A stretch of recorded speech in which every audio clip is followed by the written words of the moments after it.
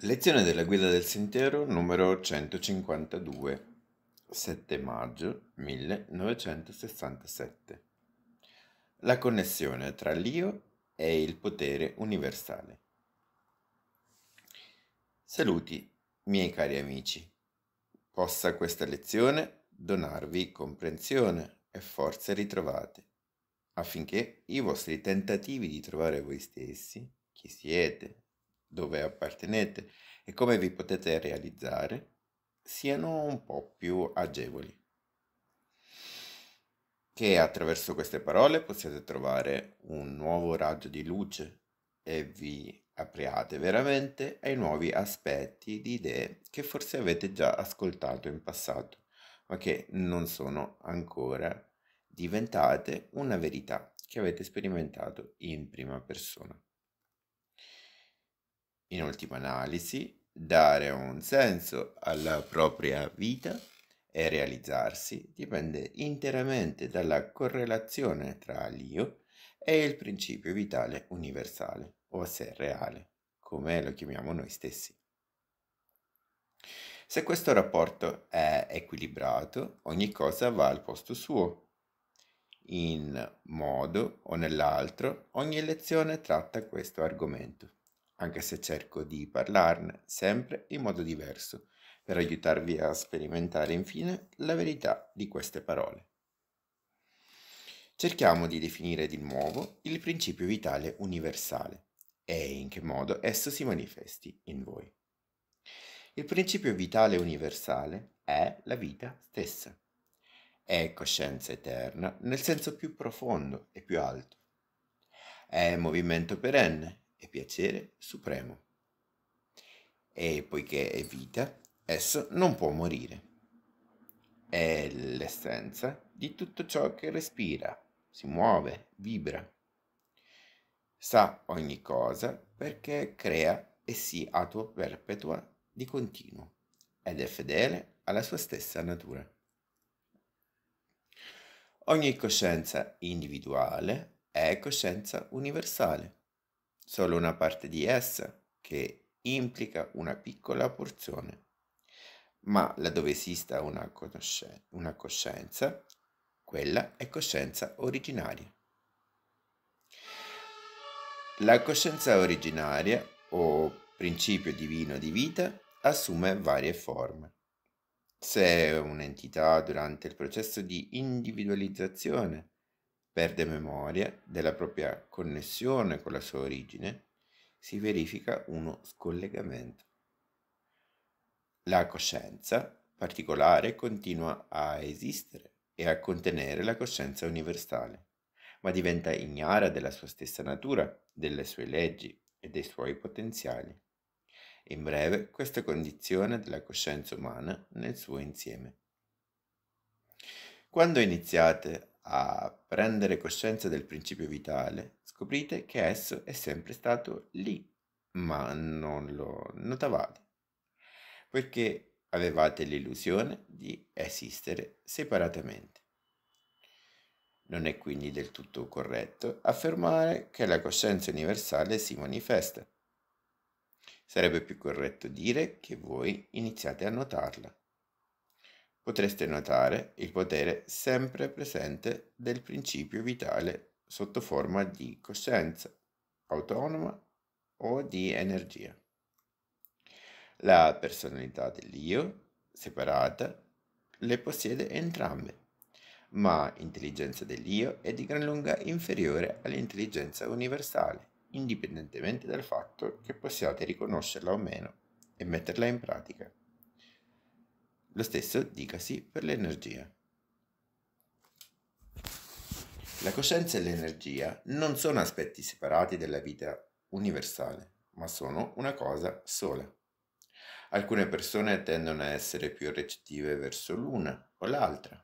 Entrambe sono sperimentate come una parte della propria autorealizzazione. Una caratteristica di base del principio di vita universale che si esprime come coscienza autonoma o come energia è la spontaneità. È impossibile che si manifesti con un processo complicato o con uno stato ristretto e iperconcentrato. La sua manifestazione avviene sempre in un modo indiretto, a seconda dell'impegno investigativo. Ripeto, dell'impegno investito e quanto meno ce lo si aspetta. Che sia indiretto non vi esime certo dall'impegno. Dovrete superare la resistenza ad affrontare voi stessi nella verità, ammettere i problemi e le credenze e liberarvi dalle illusioni. Una cosa che richiede grande impegno. Radunate tutta la forza e il coraggio che potete in ogni momento. Ma spendetevi per vedere la verità su di voi per desistere da una specifica illusione, per superare ciò che vi impedisce di voler essere costruttivi e non per un processo ancora teorico che si chiama autorealizzazione, che vi promette benessere. Se si cerca e ci si impone l'autorealizzazione con caparbetà, essa non potrà venire essa arriverà come un effetto secondario, per così dire, anche se è una cosa che potreste mai desiderare di conseguire. Ogni passo teso a vedere la verità in voi, con genuino desiderio di partecipare in modo costruttivo al processo creativo della vita, libera il sé. È così che hanno inizio i processi spontanei, che non dipendono mai da un valore volere conscio. Pertanto, più si ha paura dell'ignoto, di lasciare andare, dei processi involontari del proprio corpo, meno si avrà la possibilità di sperimentare il principio vitale spontaneo nel sé. Il principio vitale si può assumere la forza di una saggezza indicibile nel risolvere i propri problemi personali o nel coltivare i propri talenti creativi oppure si può rivelare come un nuovo, vibrante modo di vivere la vita, che dà sempre un sapore nuovo a tutto ciò che si sta facendo e vedendo. Il principio vitale è sempre sano, offre sempre una speranza fondata che non vorrà mai delusa. Non esiste la paura in questa nuova esperienza di vita. Tuttavia non la si può né sollecitare né forzare si manifesta nella misura esatta in cui non temete più i processi involontari. L'umanità si trova nella posizione assurda di bramare profondamente il frutto di quei processi involontari e al tempo stesso di temerli e combatterli. Il conflitto è terribile, è tragico, può essere risolto solo lasciando andare la paura. In fin dei conti, ogni problema psicologico deriva da questo conflitto essenziale, esistenziale, molto più profondo, che va ben oltre la nevrosi individuale e le difficoltà personali vissute da bambino, che in seguito producono conflitti interiori e idee errate. Tuttavia, la vita è tesa a risolverlo. Per riuscirvi, la prima cosa da fare è individuare e capire i singoli conflitti nevrotici. Dovete imparare a vedere e a accettare tutto ciò che c'è di reale in voi, negli altri, nella vita. Deve prevalere l'onestà per fermare i tentativi di ingannare la vita, per sottili che siano. Si devono eliminare tutti i difetti del personaggio. Per eliminare intendo ammetterli in pieno e osservarli in modo obiettivo senza cadere nello sconforto o nella negazione dei difetti. Questo atteggiamento, di per sé, rimuove i difetti in modo infinitivamente più efficace di qualsiasi altro approccio. In altre parole, non si tratta di rimuovere da prima i difetti affinché si possa verificare qualcos'altro, ma di osservarsi con calma nel difetto. Solo allora si potrà percepire il conflitto esistenziale tra Dio e la coscienza universale. La coscienza universale si manifesta spontaneamente. Non ha nulla a che vedere con i progetti religiosi di una remota divinità o con una vita al di là di quella fisica. Queste sono interpretazioni errate, storte in seguito alla percezione del principio di vita universale. Quando una persona lo percepisce e cerca in qualche modo di trasmettere quell'esperienza a colui il cui io è ancora in conflitto con il principio vitale creativo, si producono interpretazioni errate che vi alienano dal vostro io immediato e dalla vita pratica di ogni giorno. Le persone che temono questi processi alienati li eliminano costruendosi teorie vaghe. Costoro cercano un compromesso tra il proprio anelito, che proviene dal senso profondo delle effettive possibilità a loro disposizione, e il proprio timore. È un compromesso presente in ogni forma di religione ufficializzata, che rimuove Dio dal sé e dalla vita quotidiana e che divide la natura umana in essere fisico e spirituale. In tal modo, la loro piena realizzazione si sposta dal principio, dal proprio adesso, a una vita dopo la morte. Tutti questi modi di vedere e approcciare la vita non sono altro che un compromesso tra ciò che si sente possa esistere e ciò che si teme. Questa paura va al di là delle paure neurotiche che derivano da idee errate e traumi vissuti di persona. Qual è questa paura di base di mollare l'io esteriore e di consentire ai processi universali di operare e di prendervi per mano? Deriva dall'equivoco di credere che rinunciare all'io equivalga a rinunciare a esistere. E per capire un po' meglio il problema, vediamo come l'io abbia formato se stesso dalla vita universale. L'individualizzazione è un aspetto integrale della forza universale. La vita è un continuo movimento, un pretendersi, un espandersi, un incontrarsi, è la ricerca di nuove aree di esperienza e di nuovi territori. La vita creativa non è diversa e trova modi sempre nuovi di sperimentare se stessa. Nel separarsi sempre più dalle sue fonti originarie, la coscienza individuale dimentica la sua essenza e diventa ignara dei suoi principi e delle sue leggi, fino ad apparire come un'entità del tutto separata. L'esistenza individuale viene così associata a un'esistenza separata, rinunciando all'io, l'individuo teme dunque di annientare la sua unica personale esistenza. Questa è la concezione attuale di, degli esseri umani. Voi volete, vivete nell'illusione che la vita, il senso di io sono, si possa trovare sola in un'esistenza separata. Un'illusione che ha introdotto la sua morte nel regno umano. Poiché la morte non è altro che quella illusione portata alla sua assurdità finale. Rendersi conto del carattere illusorio di un'esperienza separata dall'io è un passo assai importante nell'evoluzione dell'uomo. Ogni lavoro di autorealizzazione pone una chiara attenzione sul problema. Laddove considerate l'immediata verità su voi stessi come individui, vedrete come voi e il principio della vita creativa siate una cosa sola. E poi scoprirete tutto quello che vi sto dicendo si può realizzare e verificare proprio nel qui e ora. Non si tratta di un insegnamento teorico da accettare, tutto più a livello intellettuale.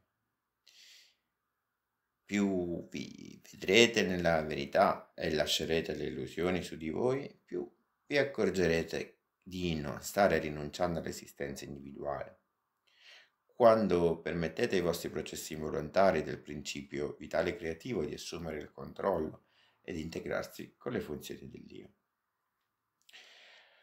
Alcuni amici hanno iniziato a sperimentare sempre più spesso l'immediatezza di questa vita più vasta, avvertono un'energia rinnovata e scoprono paradossalmente che più dispensano la vita la loro energia, più generano energia rinnovata dentro di sé.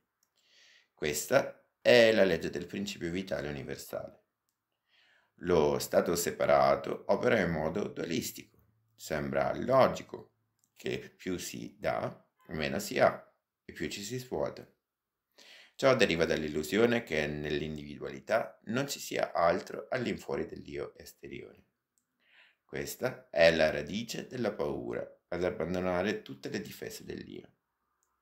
In modo analogo, coloro che cominciano a provare quei poteri e quelle energie iniziano anche a notare l'afflusso di un'intelligenza ispiratrice, all'apparenza molto più vasta di qualunque cosa conoscano nell'intelletto esteriore, diversamente dalla saggezza interiore. Eppure si tratta in sostanza del loro sé migliore.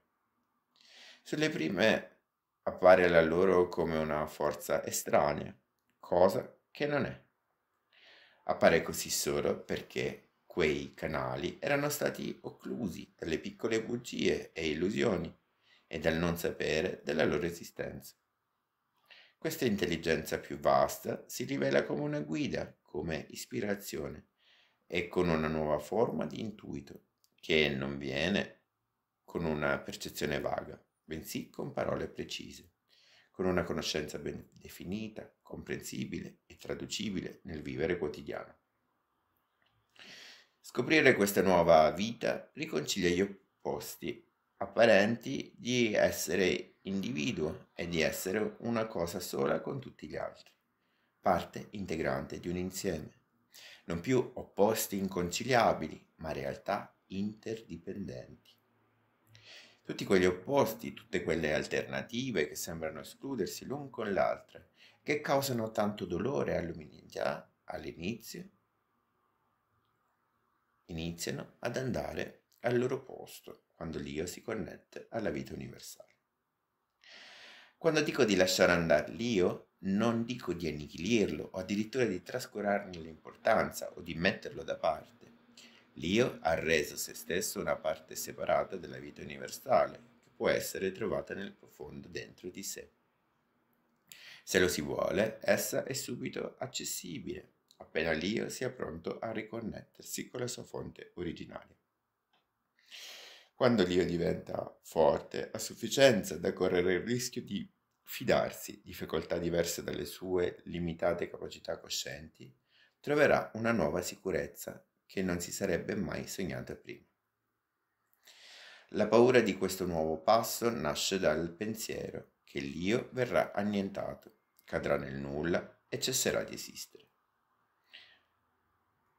Paura mitica all'apparenza rivolgendosi a sostanze psichiche immobili e pietrificate. L'immobile sembra sicuro, il mobile pericoloso. Voler restare fermi rende la vita spaventosa poiché la vita è in moto perenne. Quando scoprirete che il movimento è sicuro, perché è lui a condurvi, avrete trovato l'unica vera sicurezza. Tutte le altre forme di sicurezza, affidarsi, appoggiarsi alla staticità, sono illusorie e generano sempre nuove paure. È lo stesso principio che muove i pianeti, che non cadono nello spazio. In fondo, al dramma umano c'è sempre la sensazione che se non mi tengo ben salto mi metto in pericolo. Ma una volta che siete diventati consapevoli di questo sentire, disporrete di una chiave importante, perché potreste anche valutare l'eventualità che vi state sbagliando. Non c'è nulla da temere, non c'è rischio di restare schiacciati o di essere annientati. Potete solo essere trasportati come i pianeti nello spazio. Come vi dico sovente, lo stato della coscienza attuale e dell'umanità crea sia il mondo in cui vivete sia le sue leggi fisiche. Voi siete talmente abituati ad anteporre l'effetto alla causa. Ciò dipende dal vostro stato mentale dualistico, che non è in grado di vedere il quadro completo, che tende a pesare in una modalità o o voi non siete relegati a questa sfera, piuttosto questa sfera, il suo contenuto è espressione dello stato generale di coscienza umana. Una delle leggi fisiche che esprimono tale stato di coscienza è la legge di gravità. È una legge speciale che riguarda solo la vostra coscienza dualistica. La legge di gravità corrisponde o la esprime a livello fisico alla reazione emotiva, all'ansia di cadere e di restare annientati se si riuscisse se si rinunciasse a un io che si ritiene essere la sola forma di esistenza individuale. Le sfere di coscienza che hanno trasceso il dualismo di questo piano hanno le leggi fisiche diverse, conformi alla loro coscienza generale. La scienza umana, persino in pura ottica materialistica, dimostra che le cose stanno in questo modo. Lo dimostra la scienza dello spazio. Nello spazio esterno non vi è gravità. La vostra non è l'ultima né unica realtà. Questa è più di un'analogia meramente simbolica, è un'indicazione che potrebbe allargare il vostro orizzonte nel pensare e sperimentare interiormente nuovi confini della realtà, facendo scemare la paura e la vostra illusoria esistenza dell'io. Come applicare questo, amici miei, al punto in cui è arrivata la maggior parte di voi nella ricerca del proprio sé reale? La cosa si collega immediatamente ai vari strati della vostra coscienza. Più riuscite a rendere cosciente il materiale che era inconscio, così da reindirizzare i riflessi fallaci di quel materiale, più vi avvicinate alla realtà del, pro- del principio universale che è in voi. Il principio vitale universale diventa in tal modo più libero di rivelarsi e voi proverete meno paura, vergogna e pregiudizi e vi potrete predisporre a riceverlo. Chiunque vi potrà confermare che più si trova il coraggio di guardare la, vita, la verità e null'altro che la verità su di sé, più diventa facile connettersi alla vita più vasta, più sicura e più felice che c'è dentro di sé. Più sarete collegati a qualcosa che elimina ogni certezza e conflitto, più avvertirete una sicurezza e una capacità di operare che non sapevate di possedere. E allora ecco che arrivano le funzionalità del potere e dell'energia. La funzionalità di un'intelligenza che risolve qualsiasi tipo di conflitto fornendo soluzioni a problemi all'apparenza insolubili. Tutti i se e i ma della vita pratica quotidiana svaniscono, non non ricorrendo a mezzi magici esterni, ma attraverso la vostra crescente capacità di far fronte a tutto ciò che accade come parte integrante di voi stessi. Inoltre svilupperete una maggior capacità di trovare piacere, così come è giusto che sia. Nella misura in cui avete scollegato voi stessi, in quella misura dovrete proseguire questo modo di vivere. Alcuni anni or sono ho usato questi termini per descrivere alcuni livelli generali e fondamentali della personalità umana il sé superiore, cioè il vero potenziale comune a tutti, la vita universale in ogni umano. Il sé inferiore, con tutti gli inganni i difetti del vostro personaggio, le illusioni, le finzioni e la distruttività. Poi ho accennato a un terzo componente, che chiamavo il sé maschera, il sé idealizzato. In sostanza fingere di essere ciò che si vuole o si sente di dover essere, solo per il piacere e l'approvazione altrui. Durante le nostre conversazioni ci siamo imbattuti in molti aspetti di questa triade, una volta che vi ho parlato di un fenomeno diffuso, ossia della vergogna provata per il proprio sé superiore, del meglio che c'è in voi.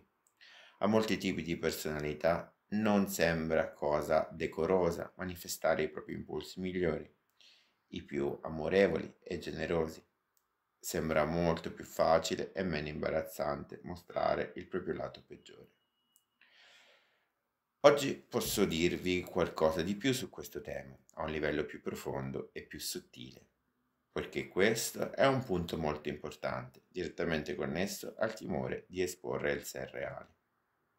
Alcune lezioni del passato si limitavano a descrivere alcuni aspetti di un certo tipo di personalità a un livello relativamente più superficiale. La personalità specifica di cui ho parlato in seguito prova una vergogna soprattutto per le buone qualità, per il dare e per l'amare. Queste persone credono di rispondere alle esigenze della società e quindi perdono l'integrità della loro individualità. Temono la loro sottomissione e dipendenza dalle opinioni altrui e dunque si vergognano di ogni loro genuino impulso di soddisfare gli altri. Si sentono perciò più se stessi quando si comportano in modo ostile, aggressivo e crudele. Ogni essere umano ha una reazione simile rispetto al proprio sé reale. Ciò non vale solo per la loro effettiva bontà e amorevole generosità, ma anche per ogni altro sentire e modo di essere genuino. Questa strana vergogna si manifesta come imbarazzo per mettersi in mostra così come si è. Vi fa sentire come se foste ignudi ed esposti è un'esperienza che può fare chiunque. Non si tratta della vergogna dei propri inganni e distruttività, né della propria acquiescenza. Questa è una vergogna a un livello del tutto diverso e di diverse qualità. Ve lo posso descrivere solo dicendo che essere ciò che si è nella realtà vi fa sentire totalmente nudi, a prescindere da pensieri, sentimenti o comportamenti buoni o cattivi. È essenziale capirlo, poiché spiega come si creano i livelli artificiali. I livelli artificiali non derivano solo da idee errate, nel senso comune del termine. Quando si espone quel nucleo di sé, come si è in quel momento, la personalità ha un minor timore di essere annullata o in pericolo, ma prova più vergogna. L'elemento di pericolo arriva quando l'io fra prevalere i processi volonta- involontari. La vergogna si sente in modo più acuto quando si dimostra che si è in quel momento. A causa di questo sentire, la gente finge, un tipo di finzione diverso da quello che cela l'assenza di integrità, distruttività o crudeltà. Questo tipo di finzione è più profondo e sottile. Potreste fingere che sentite per davvero, Potreste provare amore sincero, ma il mostrarlo vi fa sentire nudi e così create un falso amore. Potreste provare vera rabbia, come adesso, ma quella rabbia vera sembra sterile e allora create una falsa rabbia. Potreste provare vera tristezza, ma nel riconoscerla vi sentite mortificati anche voi. Perciò vi create una falsa tristezza che potete subito mostrare agli altri. Potreste sperimentare lealmente il piacere, ma anche questo è umiliante da far trapelare e quindi create un falso piacere. Lo stesso vale per elementi quali la confusione e la perplessità. Intensificate ed esagerate le emozioni che provate, come vi spiegavo nella lezione precedente, e così le falsificate. Siccome il sentire reale sembra così nudo ed esposto, ne create uno finto questa falsificazione funziona come un indumento proiettivo che nessuno conosce, al di fuori del sé più profondo di cui di solito non, è, non si è consci. Tale protezione anestetizza la vivacità dell'impulso vitale. Ogni imitazione crea uno schermo tra voi e il vostro centro vitale. Anche questo vi separa dalla realtà, poiché è la realtà del vostro stesso essere che non sopportate e che vi sentite costretti a imitare, falsificando in tal modo la vostra stessa esistenza. Il flusso mobile della vita sembra pericoloso, non solo per l'impatto sulla vostra sicurezza, ma anche sul vostro orgoglio e dignità. Ma tutto ciò non è cruda e tragica illusione. Così come trovate vera sicurezza solo quando vi unite alla fonte di tutta la vita in voi.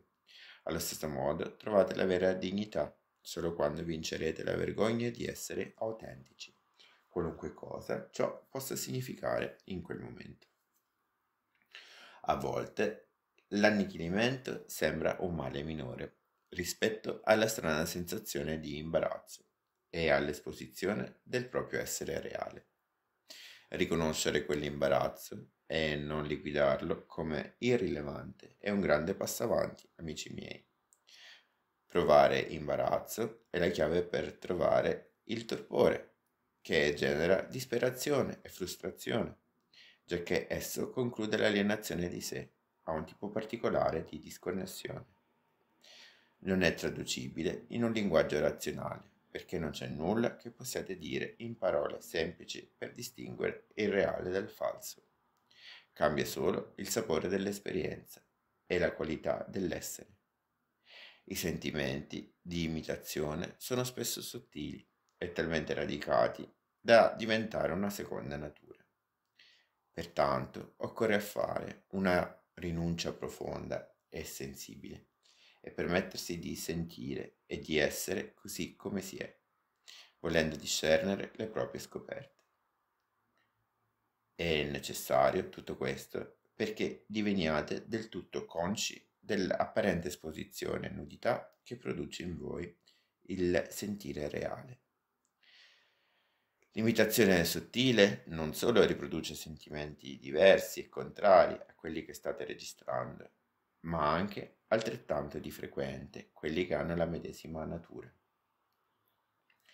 E intensificando questi ultimi si fa apparire il falso come reale.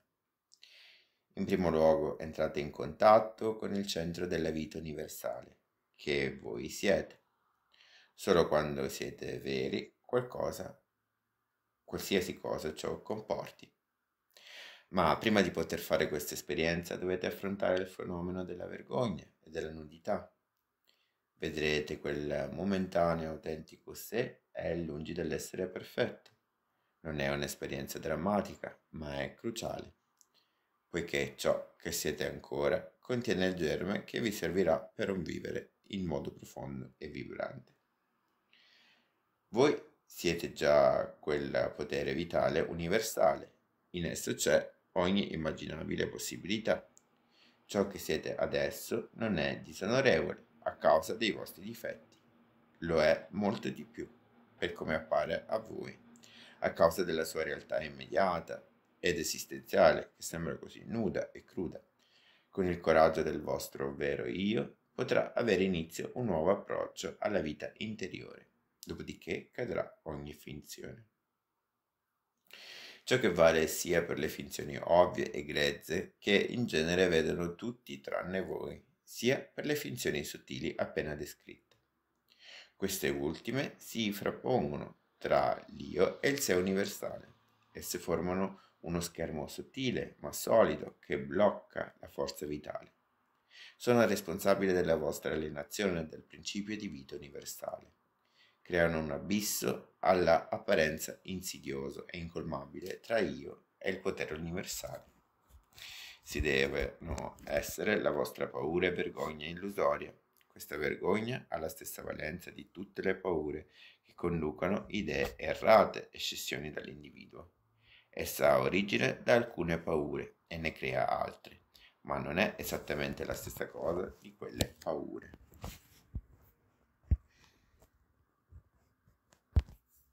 Il profondo simbolismo del racconto di Adamo ed Eva spiega la vergogna della propria nudità nel mostrare se stessi per come si è. La nudità della realtà è il paradiso, poiché quando quella nudità non viene più rinnegata, può iniziare una nuova esistenza felice nel qui e nell'ora, e non in un'altra vita nell'aldilà. Ma ci si deve ambientare un po', dopo essere divenuti consapevoli della vergogna. Occorre un percorso nel percorso per diventare più consci delle abitudini radicate, ma sottili, con cui si scopre la nudità interiore. Quanto è facile tornare a provare vergogna a causa di vecchie consuetudini ma se ne prendete atto e suscitate sistematicamente i poteri che avete in voi, in modo da notare la vostra vergogna e i vostri nascondigli, e imparare a venire allo scoperto, uscirete finalmente dal vostro guscio protettivo e diventerete più autentici.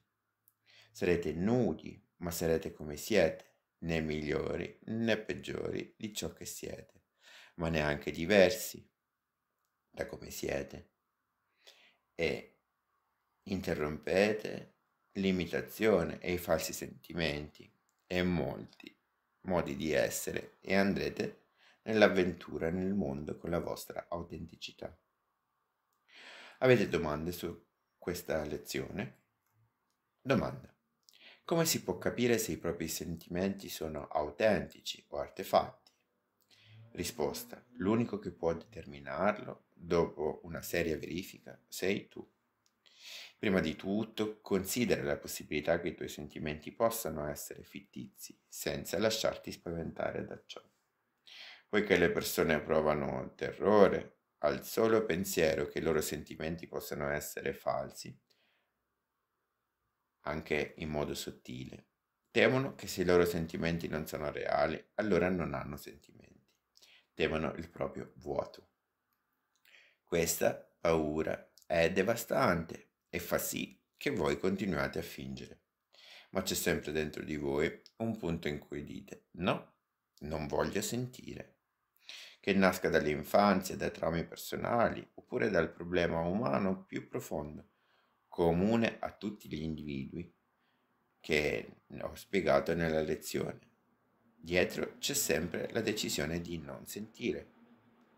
Decisione spesso non consapevole, per cui si è disconnessi da essa e avulsi dalle conseguenze, che ovviamente è l'assenza del sentire.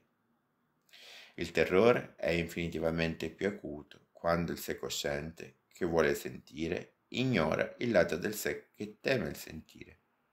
Il terrore di non riuscire a provare sentimenti non è paragonabile a nessun altro. E quindi di enorme aiuto rendersi conto che nessuno è realmente privo dei sentimenti e che essi non possono mai svanire del tutto. Vita e sentire sono un tutt'uno. Dove c'è uno, c'è pure l'altro, anche se uno dei due dovesse essere disattivato al momento. Sapendo ciò, è possibile cercarsi dentro e chiedersi dov'è che ho deciso di non sentire. Quando sarete del tutto consapevoli della vostra paura di sentire, smetterete di avere paura di non provare sentimenti e dunque è possibile riattivare il sentire con l'aiuto della ragione, attraverso una valutazione realistica e razionale delle circostanze. Vi ho dato molti spunti su cui riflettere c'è materiale a sufficienza che potrete usare con profitto nel proseguimento del vostro cammino. Sia benedetto ognuno di voi, che i vostri sforzi vi aiutino a essere veri e a trovare il coraggio di mettervi a nudo senza false coperture. Se lo volete davvero, che non potrete non riuscire. Se una persona non si muove, non cresce e non si libera, è perché non lo desidera davvero. Ed è importante saperlo. Trovate in voi la voce interiore che rifiuta di muoversi. Passano tutti i vostri falsi strati svanire, perché è ciò che volete e decidete veramente. Allora scoprirete la gioia del vivere. Siate in pace, siate in Dio. Avete ascoltato la lezione della guida del sentiero numero 152 la connessione tra io e il potere universale. Per ulteriori informazioni visitate il sito web www.bibliotecadelsentiero.org.